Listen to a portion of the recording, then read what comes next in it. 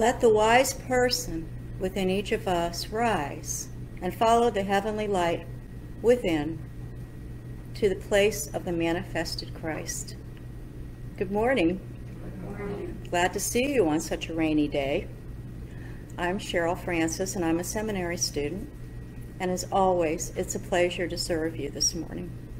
Please rise as you're able for our opening hymn, Welcome, Holy Spirit, and remain standing for the prayer of invocation and the Lord's Prayer. Please join me in an attitude of prayer. O Divine Presence, as we enter this Advent season with the understanding that Jesus taught and demonstrated a specific state of consciousness that is available and possible for every person, not just exclusively for him.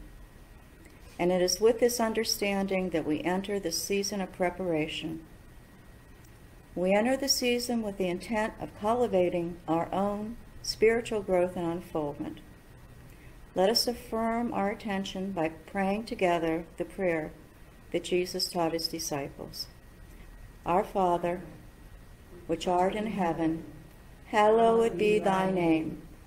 Thy kingdom come, thy will be done on earth as it is in heaven.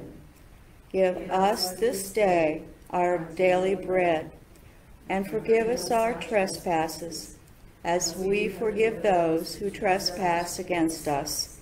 And leave us not in temptation, but deliver us from evil. For thine is the kingdom, the power, and the glory forever. Amen. Please be seated.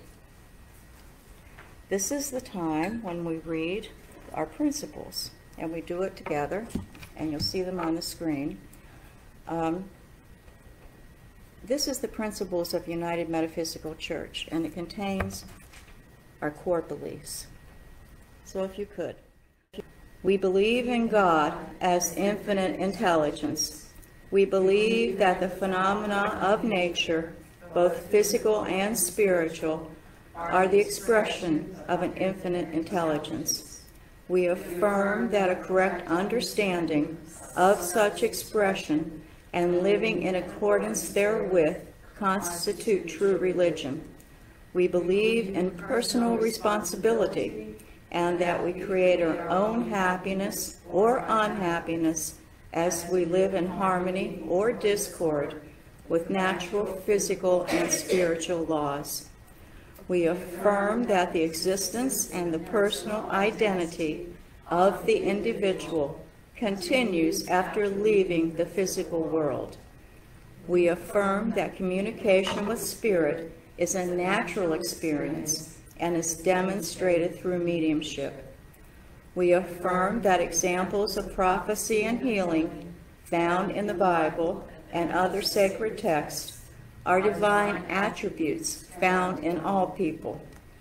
We believe that the highest morality is contained in the Golden Rule do unto others as you would have them do unto you. We affirm that the doorway to reformation is always open to any soul, here or hereafter. We are now going to have our meditation, and we're going to start with the meditation music today is O Come, O Come, Emmanuel by Chris Tomlin. So listen to the words and get a feel for what the people of Israel were feeling before Christmas. They had had a difficult time because the Romans were ruling them. They still lived in their own land and did our, their own traditions, but they wanted to be out from underneath this rule. They didn't have the full concept of what Jesus was going to be. Fortunately, we do, because we have hindsight. But we can equate our struggles with the struggles of the people of Israel and how bad they felt when they felt that they were exiled and under the thumb of somebody else. We have to let go of all those feelings we have. We have to answer to no one. except our God and ourself. So please think of that while you're listening to the words of this hymn.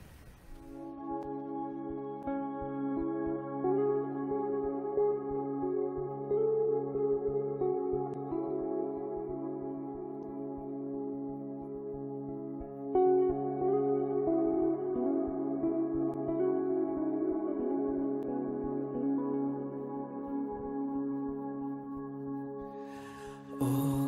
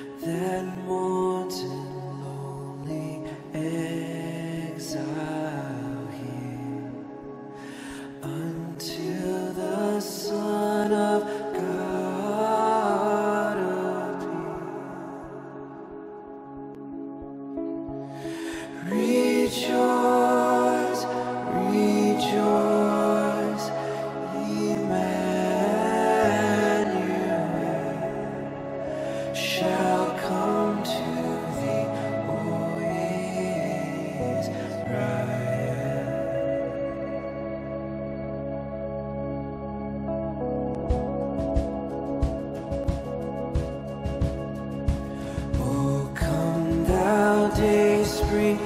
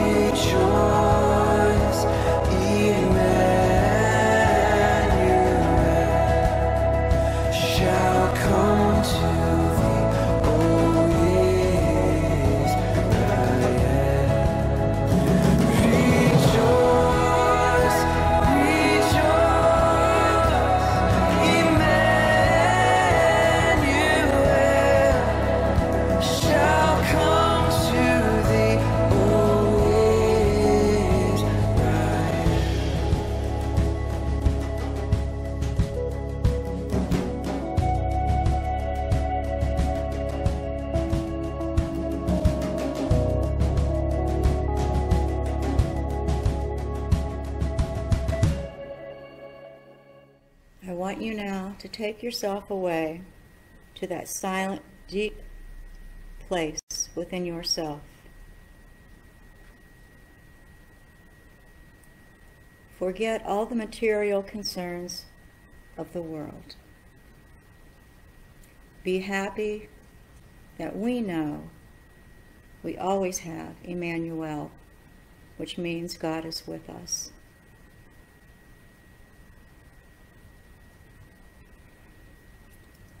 Imagine that you have just received a gift, and it is from Divine Mind. It's wrapped in the cosmos, tied with a ribbon made of stardust. What in the world could that gift be? It is the finest gift we could ever receive divine consciousness, the state of consciousness that transcends normal human consciousness. The state that allows us to follow the most important commandments to love the Lord thy God with all our heart, our soul, and mind, and to treat others as we would like to be treated. We have generously been given a standard of right and wrong that, if followed, can lead us to the best life possible. That allows all of our actions to be good actions. Allows us to be of material and spiritual service to all. And to feel the presence of divinity in ourselves. Always. What do we do with this gift? How do we share it? Think of the ways we can fulfill the potential of this gift. We're standing in front of a fireplace with five stockings hung, five names on them.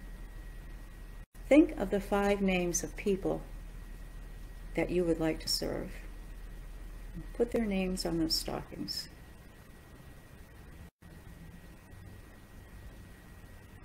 Now, how are you going to share this gift with those people? When you think of a way for each person, mentally place it in that stocking. Think of your first name. What could you do or say or pray for this person that would make their life better? Stick it in that stocking. How about number two? Is there something we materially could give them? Or is the gift of time and attention what they need? You decide. Put it in stocking number two. How about stocking number three? Is it a person who needs to give? A person who needs to be busy? Can you think of something you can offer this person to do that would be in service of others, that would fulfill their need? Think of what you want to give this person and put it in the stocking. How about number four? Is number four that person who talks about everybody and everything and just gives you a headache? What is it that that person needs? Would it be attention or love, self-assurance? Think of how you could give that person what they're really looking for. Stick it in the stocking. And now we come to number five. Surely we have lifted, listed all the gifts that we could give somebody. The one thing we have not listed is we can share with them an awareness, an awareness of their own divinity, an awareness that expands their energy field and gives them joy. Perhaps that's what we need in all five stockings put your gift in stocking number five. Now sit for a moment and think. Think about those five names. Think about them with inner peace, silence, and harmony about what you would do for these people. Just for a minute.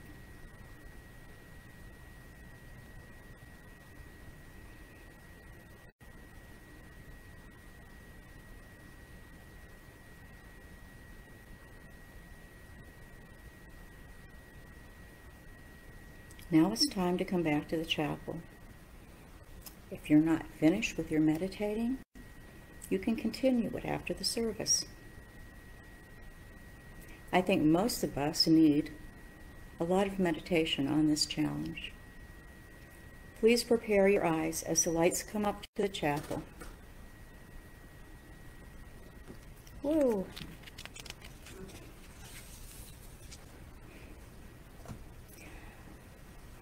The name of the sermon this morning is Preparing Our Energy for Christmas. Christmas for metaphysical believers symbolize embracing the Christ consciousness. The Christed consciousness is the spirit of divinity that's shown itself in the life of Jesus the Christ, and that is why he is our way shower. Christmas is a time for us to renew our relationship with that divinity, as shown by Jesus. You know, we are all dormant Christs in various stages of unfoldment. Whatever stage we are at, we can raise our energy fields until it is high enough for the highest state of divinity that we can reach to merge with us and to bring us more of the pure consciousness of Jesus that we can handle at the stage we're at and will help with our transformation into a purer state of awareness. It is time to transform as far as our current unfoldment will allow. The elders of the Hopi Nation have a special message. It's a message for everybody concerning the transformation of the spirit. And what they want to tell us is we've been telling people that this is the 11th hour. Now you must go back and tell the people this is the hour. And there are things to be considered. Where are you living? What are you doing? What are your relationships? It is time to speak your truth. Create your community. Be good to each other. There is a river flowing now fast. It is so great and swift that there are those who will be afraid. They will try to hold on to the shore, and they will feel like they're being torn apart and will suffer greatly. Know that the river has a destination. The elders say we must leave go of the shore, keep our eyes open, our heads above water, see who it is in there with us, and celebrate. At this time in history, we are to take nothing personally, least of all ourselves. For the moment we do our the moment that we do, our spiritual growth and journey comes to a halt. The time of the lone wolf is over. Gather yourselves. Banish the word struggle from your attitude and your vocabulary. All that you do now, everything, must be done in a sacred manner. Because we are the ones that we have been waiting for and that was from the elders in Arizona on June 8, 2000. What does that mean for us? Well, it means we have to go with the flow, for one thing. Don't fight it. If we try to hold on to old ideas, old par paragrams, old thoughts, old ways of doing things, we're going to be torn apart and feel a lot of pain. If we go with the flow, We allow our energy fields to rise, which expands our own divinity, and accept the changes that will have to be made to go into the Christ consciousness and a greater awareness of divine mind. That's just what we have to do. There is no second coming of Christ. There is not going to be a person like Jesus who comes to our society in a body and shows us a higher way of life. The second coming of Christ is the acceptance of the Christ consciousness in us, one at a time. We, all of us, are the second coming. That is why we are here at this time. It's a little overwhelming, isn't it? But it is a wonderful thing. Except we may wonder, what in the world can we do to make sure that we expand our energy enough that not only we accept the entire Christ consciousness energy, but the energy of divine mind and allow it to merge with us and work through us and become us. How do we do that? Your invisible energy fields are electric. Scientists call these waves of energy that surround every living thing electromagnetic invisible waves. We call it energy. This energy was created by divine mind and it's pure. And in a state of cooperation of love and harmony with all other energy fields. To put it simply, God is love. Where God is absent, there is no love. God cannot exist where love does not exist. Anything you allow into your energy field that is not of love will make your energy impure and low and will keep you in a state that will attract other sources of contamination that keeps you in a series of unending problems. And we know this and we say this over again. It's the law of attraction.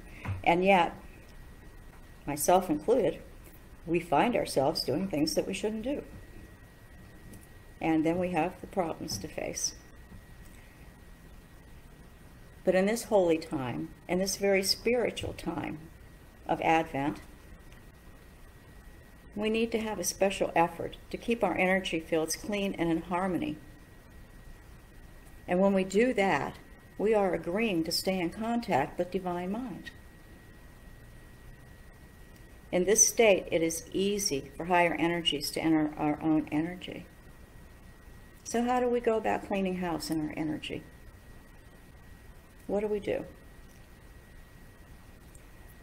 Lucky for us, in order to keep our energy field pure and to fight contamination, we have been given a blueprint.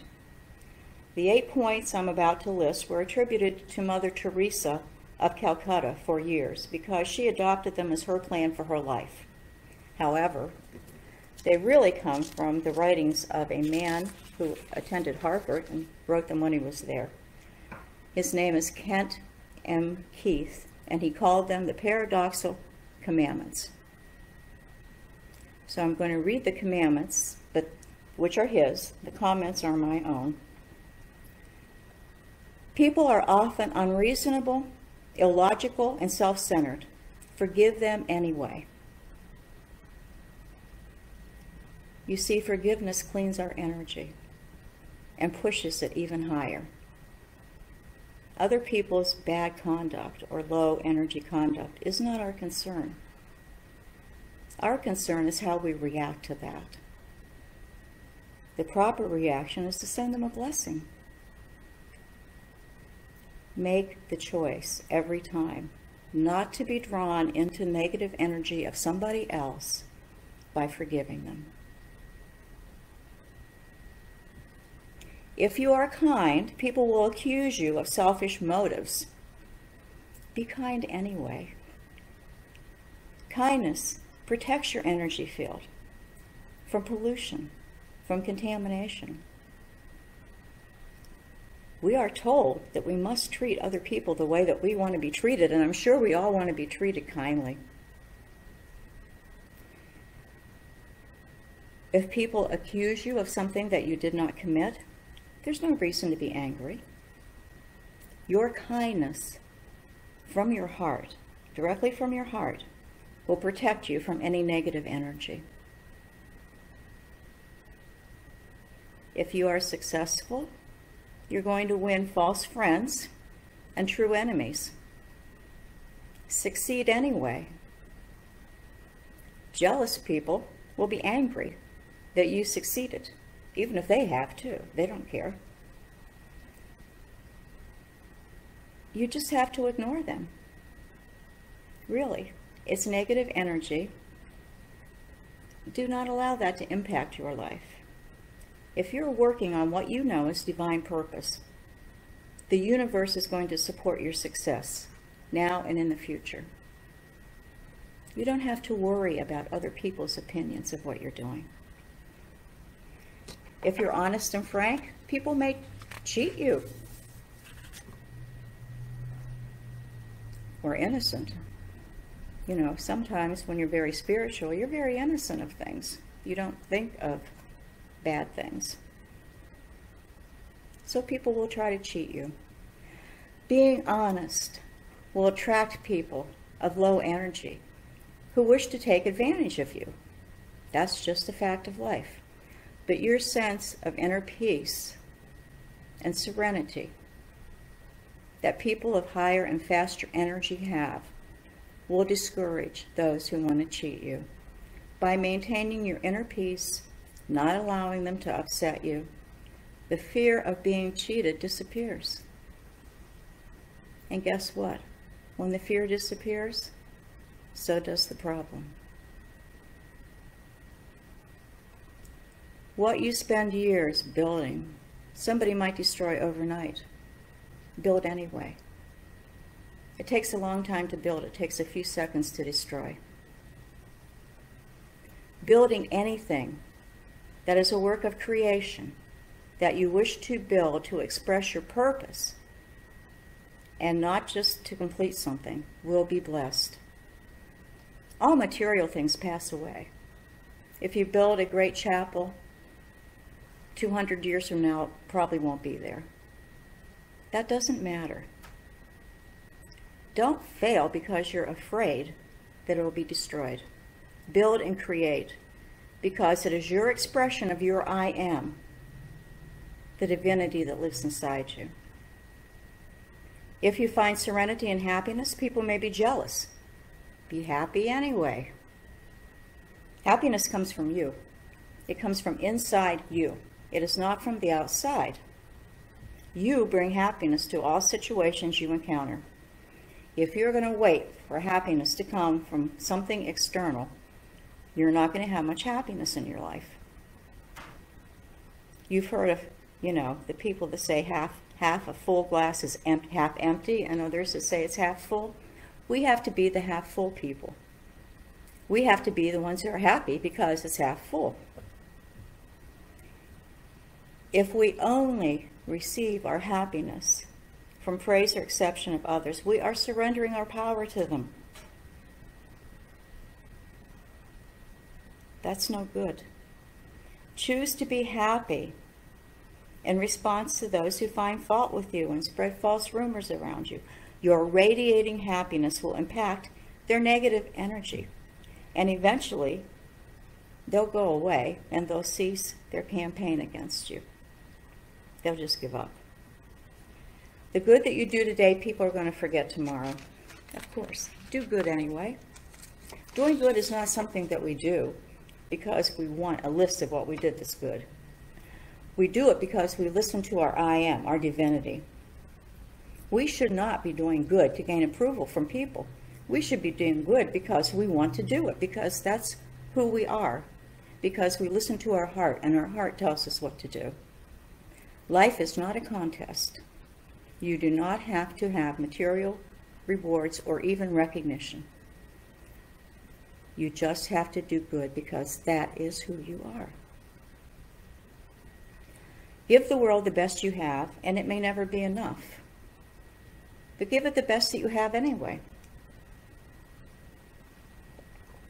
The best refers to your highest and fastest vibration energy, which is your most sacred self.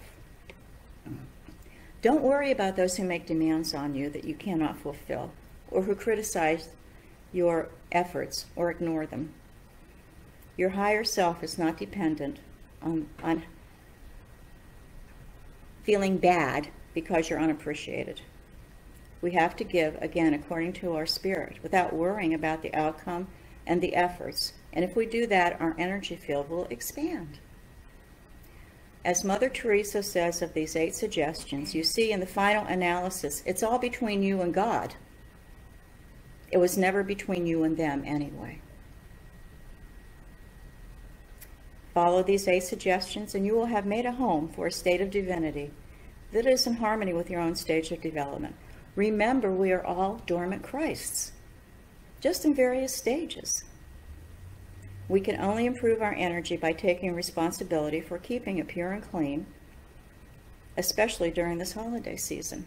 there's a lot of spiritual energy around. We should take advantage of it. Remember that Christmas for metaphysical believers symbolizes embracing the Christ consciousness. So let's all endeavor to embrace that wonderful energy of love that is the true gift of Christmas. And so it is.